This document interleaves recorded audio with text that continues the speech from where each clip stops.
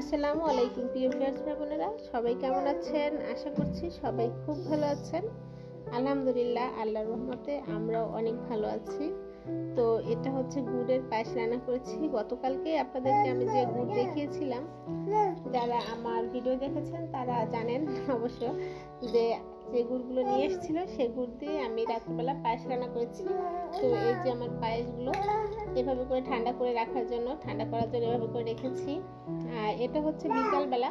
শুক্রবার দিন বিকালে আমরা সবাই একটু মাঠে যাচ্ছি, শ্যামলি পায়েস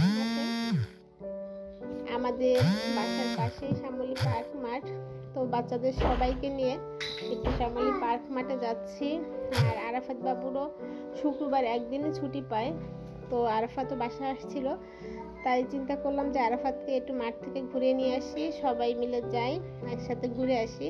তো এই যে আমার ছোট্ট বেবিটা বলেছি না, সবসময় ক্যামেরা দেখলে ও ক্যামেরার দিকে একেবারে চেয়ে থাকে। আর ফোন ধরার জন্য খুব টানাটানি করে। তো আজকেও ফোন নেওয়ার জন্য একটু টানাটানি করেনি। আর এই যে আমি সবার পিছনে আমি লাস্টে ঘরে দরজা লক করে বের হয়েছিলাম সে কারণে সবার পিছনে আমি পড়ে গিয়েছি। আর এখানে মা নানু আসলে সবাইকে নিয়ে গেছি ছোট বোন ছোট বোনের বাচ্চা। আমরা সবাই মিলে একসাথে গেলাম। তো গিয়ে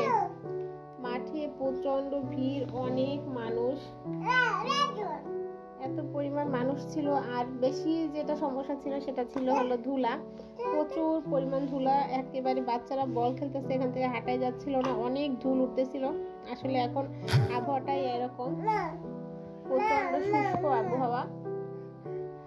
শুষ্ক আবহাওয়ার জন্য এরকম ধুলাবালি উঠতেছিল আসলে। তারপরে আমরা একটু ভিতরে চলে গেছি। বাবুটাকে নিয়ে এই সাইডে ছোট ছোট বাচ্চাদের রাইডস আছে খেলার জন্য। তো ছোট বাবুটাকে নিয়ে পাশে আসছি। তো আমার তো আমার হাতে ধরবে না। সে একা একা এখানে ঘুরবে, ওখানে ঘুরবে, হাঁটবে। তারপর চেষ্টা করতেছিলাম একটু কন্ট্রোলে রাখার। অবশেষে ওকে আমি স্লিপারে উঠানোর জন্য নিয়ে গেলাম। তো ওকে আমি স্লিপারের ওখানে উঠিয়ে দিয়েছি। আর হাত ধরে ধরে এই যে ওকে আমি একটু স্লিপ করাচ্ছিলাম। আর যখন ভয়েস দিই তখন তো আপনারা সবাই জানেন আমার পাশে আহনাব বাবু সবসময় থাকে আর খুবই কথা বলতে থাকে। সাইড থেকে বলতেছে আম্মু নাও বাবু না এটা তুমি? তো আমি ভয়েস দেওয়ার সময় ক্যামেরায় নিজেকে দেখে নিজেই বাবু বাবু করতেছে এই যে আহনাব বাবু প্রচণ্ড এনজয় করেছে সে তো এখান থেকে নামতে মোটেই রাজি নয়। আর তার চেহারা দেখে আপনারা বুঝতে পারছেন সে কতটা এনজয় করেছে। এটাকে মনে হচ্ছিল সে খুব জোরে জোরে ঠেলতেছে। আর আমাদের ফারিন গাছ দেখে গাছে উঠে গেছে, এই যে। আসলে বাচ্চারা তো গ্রামে যাওয়া হয় না, খুব কম। আর শহরে এরকম আবহাওয়া পরিবেশ খুব একটা কম পায়, যে কারণে গাছপালা দেখলে ওদের উঠতে ইচ্ছা করে। তারপর সন্ধ্যার পরে দুই বোন একটু মার্কেটে গিয়েছিলাম, আর এখানে নামাজের হিজাব বানানোর জন্য আমরা একটু সুতি কাপড় কিনছি গস কাপড়।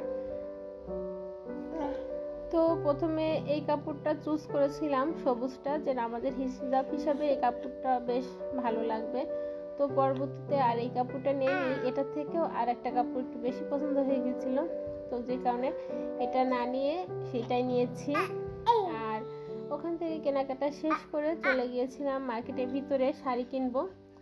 তো শাড়ি কিনতে যাওয়ার আগে এখানে দেখছি একটা মামা ঝালমুড়ি বিক্রি করছে, তো ওনার কাছ থেকে একটু ঝালমুড়ি নিয়ে নিয়েছি। আমরা সবাই ঝালমুড়ি নিয়েছি ঝালমুড়ি খাব, তাই?